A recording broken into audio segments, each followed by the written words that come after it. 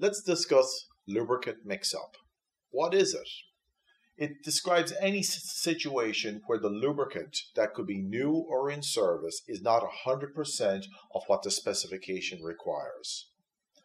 Why is it an issue? Well, if you don't have the right oil in your system or you have a little mix in there, you could end up with some premature wear, you could get some corrosion, you can get some machine performance issues like excessive foaming, things like that, or you can get a situation where the lubricants are not compatible and there's a miscibility problem, which leads to pumping and starvation issues.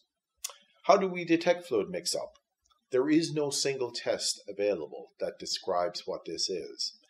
However, a, a routine on-site test uh, looked at together can provide some information and clues to actually what's going on.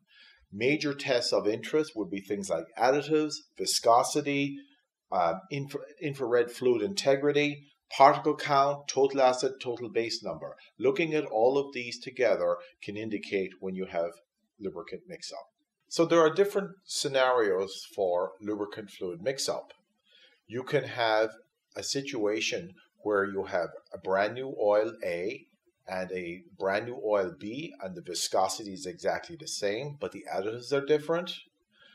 And in that situation, your, your additive elements are going to make a big difference, uh, have a significant effect, and the other tests will ha- provide some information, as you can see on this table. You can also have a situation where you have a same situation, but the viscosity is different. In that case, your viscosity measurement may be the first clue that something is wrong. Other situations that can occur is where you have a new oil and an in-service oil where you, the additive packages are quite different. So you can see here with these tables that there's a variety of different ways that we look at detecting fluid mix-up. And each test has certain strengths depending on the fluid mix-up condition that you're looking for. One thing we want to bring to your attention is this new feature that we have on the Minilab systems with Fluid Scan, where the Fluid Scan now offers you a fluid integrity uh, uh, reading, which allows you to be able to see a change that occurs possibly due to fluid mix-up, but of course it can also be, be changed because of normal contamination that may be present in the system. The best way to detect lubricant mix-up is to have a routine condition monitoring program. You can have that with your on-site equipment where you're actually testing your oils on a regular basis. In that way, when there is a change from the original values, you're able to detect that very quickly. Let's take a look here at a couple of examples of where lubricant mix-up is a case. In the first case here, we have a situation where we have a turbine oil, and if you look at the previous results and then you compare the current results, notice a couple of differences here. You've got a big change in your additive elements. Your viscosity hasn't changed that much. You have a little bit of an increase in acid number. You also see a slight increase in water content, and your fluid integrity has changed a little bit as well.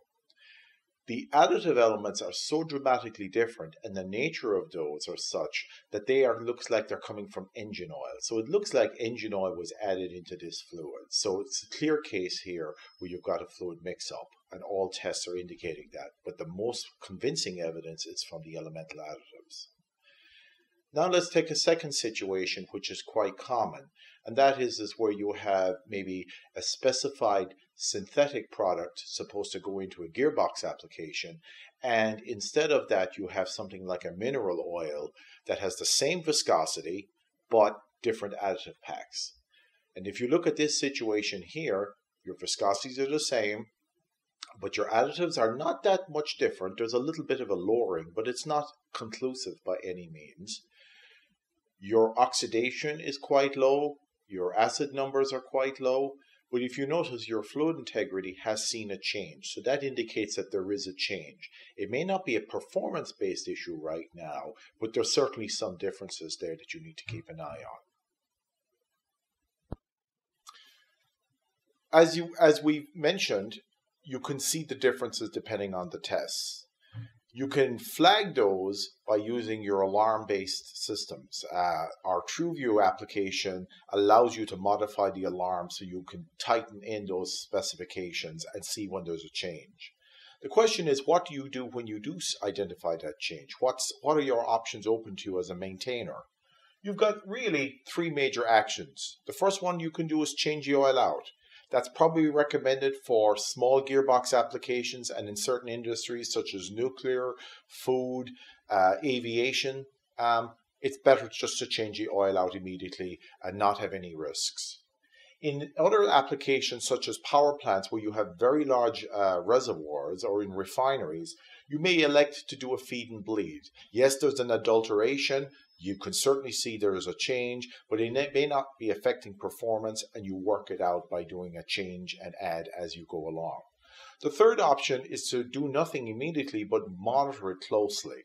Just watch to see if there's any change in conditions, any abnormalities. We also call that nursing and the equipment. Uh, you may elect to actually sample much more frequently and use your on site solution to be able to detect that rapidly.